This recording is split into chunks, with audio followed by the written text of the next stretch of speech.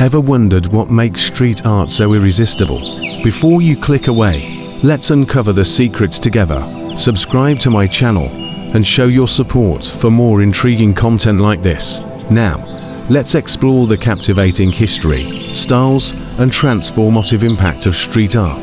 The modern era of this art form began in the 1970s with the rise of urban graffiti artists from its ancient origins to the modern digital masterpieces, street art has evolved into a diverse array of styles and techniques, captivating urban spaces worldwide.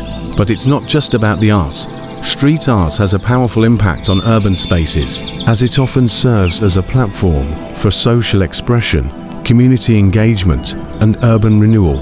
It can be a catalyst for change, addressing social issues, promoting cultural awareness, and fostering a sense of belonging among community members.